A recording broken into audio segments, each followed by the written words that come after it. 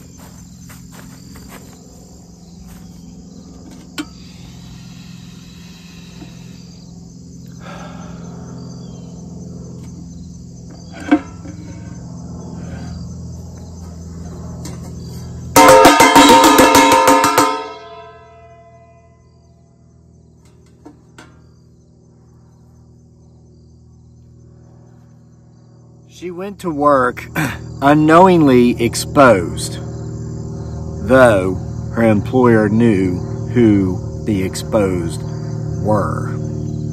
Plural. She took it home, gave it to her non inoculated, recently retired, aged husband. Three days later, he was on a ventilator. Two days later, he died. Her employer considers this to be collateral damage.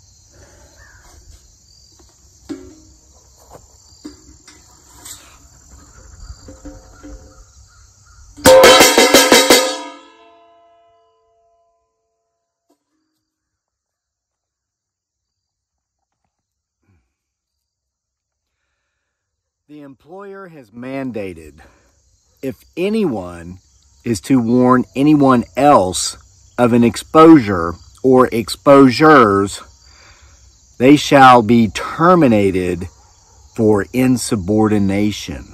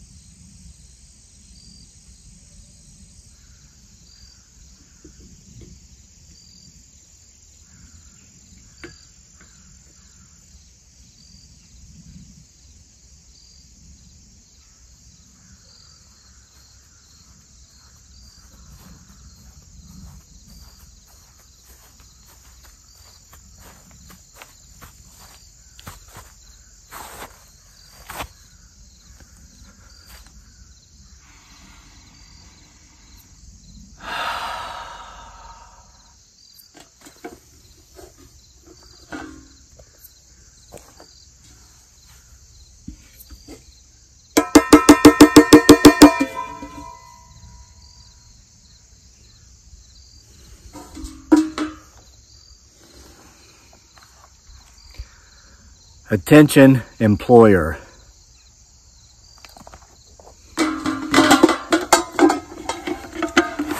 You are on notice.